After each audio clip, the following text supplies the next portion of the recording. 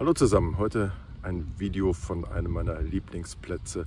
Es geht um das Thema Loben. Anders ist der Beitrag in der Wirtschaftswoche, wo es darum geht, ob Führungskräfte so Daumen hoch Smileys oder Dankes-E-Mails oder gut gemacht Badges versenden sollten, um die Mitarbeiter zu loben. Und der Tenor ist der gleiche wie in all den Beiträgen, die ich in den letzten Jahren gelesen habe und über die ich mich jedes Mal wieder neu aufrege, ehrlich gesagt, weil ähm, die Tipps sind auch die stets gleichen. Lob sollte behutsam eingesetzt werden.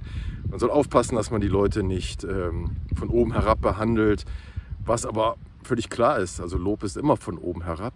Man sollte möglichst rasch nach einem Ereignis loben, so ja, wie bei Hunden und Tauben und Mäusen, die eben äh, eine positive Rückmeldung nur verstehen, wenn sie möglichst schnell erfolgt. Und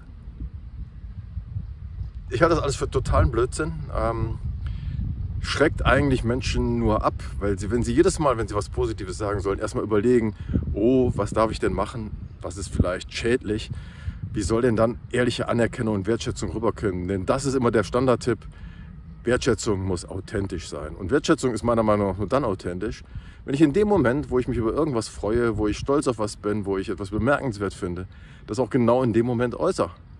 Und warum muss ich da vorsichtig sein? Und wenn es mir nicht sofort einfällt, sondern eben erst äh, Tage später, was hält mich davon ab, denjenigen nochmal aufzusuchen oder eben eine Mail zu schreiben oder was auch immer und ihm mitzuteilen, hör mal, habe ich gar nicht mehr dran gedacht, aber das fand ich super, habe ich, hab ich mich total gefreut, hat mir Spaß gemacht.